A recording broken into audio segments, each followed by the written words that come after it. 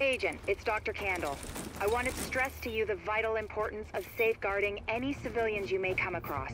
The math says some of those people must have survived the dollar flu. That means they've got antibodies to it that I need to have a hope in hell of fighting this thing. And the ones who are just sick, having a broader genetic diversity of virus samples will help us track the virus's rate of mutation, which is a long way to say, keep those people alive until I get what I need from them. Got that? Great. Readings indicate an echo nearby.